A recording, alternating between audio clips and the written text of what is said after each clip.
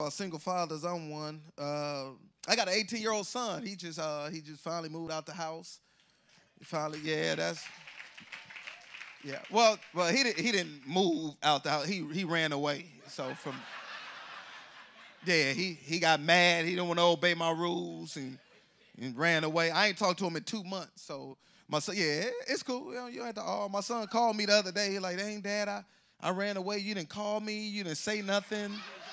You didn't come looking for me or nothing. I was like, well, son, at, at 18, that's really not considered running away. That's that's considered freeing up space. That's what we call that. I'm not I'm about to chase you.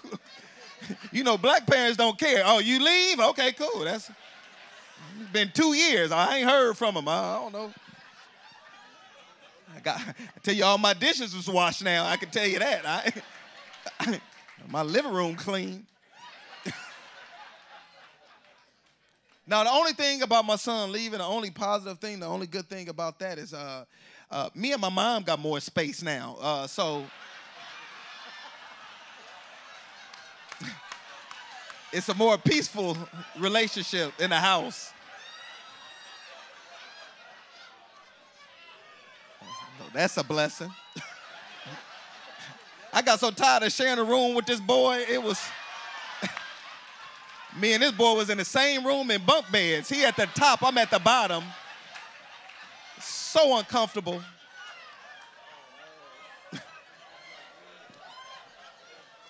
I can be the father I really wanted to be, you know what I'm saying?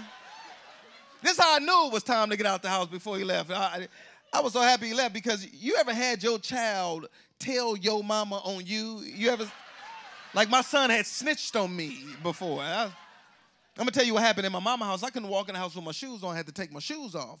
So what happened is I had put my shoes on. I realized I forgot my house keys upstairs. I was like, "Hey, Chris, I'll be right back, man. I'm about to run upstairs and grab the keys." He was like, "Ooh." I said, "Ooh, what?"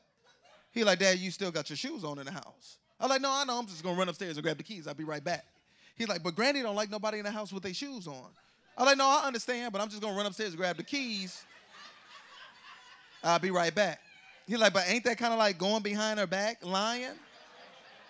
I said, well, kind of, but if I just, wait a minute, why am I arguing back and forth with my child? I got so mad. I said, you know what, you're disrespectful. Go to our room. You gonna disrespect me in my mama house. My mama pay the bills in here, not yours, okay? Your mama the reason we in this predicament, okay?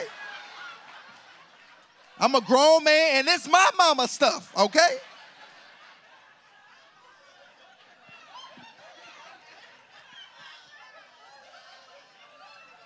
Like, round of applause. How many women would date a man that live at home with his mama? Round of applause. Okay. I only got one person I could date in here tonight, huh? Just, just one. Okay. And that's gonna be the one that end up married too. That's gonna be the one you gonna find you a husband. You know why? Because you ain't putting a lot of pressure on men. See, the rest of y'all are putting all this pressure on men. Y'all want a man to have all this extravagant stuff, like a like a, a job and a, and, and a car. She don't care about none of that. Because let me tell you something, ladies. Having a man is better than no man, okay? Wait, first of all, wait, hold on. First of all, hold on. It's in the Bible, okay? It's in the Bible. See, I didn't even come here for this tonight, but now I feel something in my spirit telling me to speak to each and every one of you women in here tonight. It's in the Bible. Okay, listen, let me, let me explain something to you, ladies. You know, God is a specific type of God, right? God wants you to be specific in what you're asking Him for. Like you can be without a car and you can pray and say, God, send me a car, send me a car. And God will hear that prayer and He'll send you a car. But guess what? That car might not have no engine. You know why? Because you didn't pray for a running car. It's the same thing when you're praying and asking God for a man. You got to be specific and a man that you're asking him for. You got to say, listen, God, send me a man that's about six five, six six. Send me a man that has good credit. Send me a man that looks like Chris. Send me a man that'll love all seven of my kids like he loves you, Lord. And after you finish praying, asking God for that man, ladies, what do you say at the end of your prayer? Amen. There it is. Amen is better than no man. It's been in the Bible for centuries.